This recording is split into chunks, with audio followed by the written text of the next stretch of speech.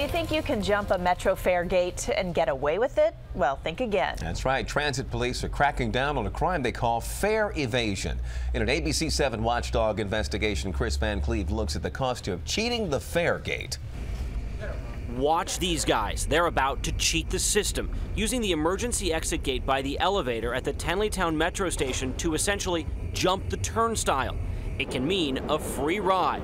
With a hidden camera, we watched people do it, coming and going over and over. So you see it pretty regularly? Yeah, yeah.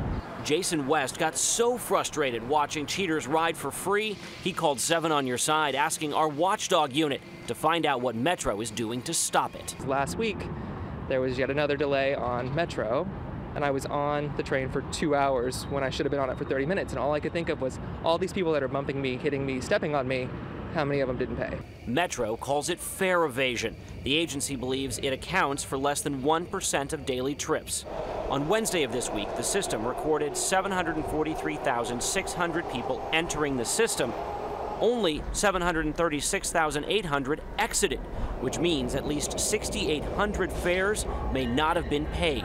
Metro has a word for it, so they're aware of it but I've never seen anybody ticketed for it. But transit police say they've stepped up enforcement, resulting in a 20% increase in fare evasion citations and arrests this year.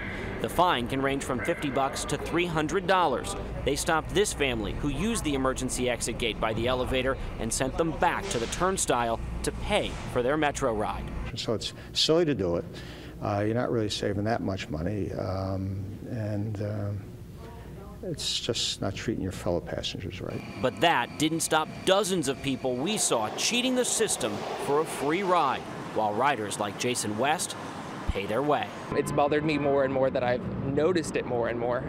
Metro is looking at adding a localized alarm to those emergency gates that would sound if they're open.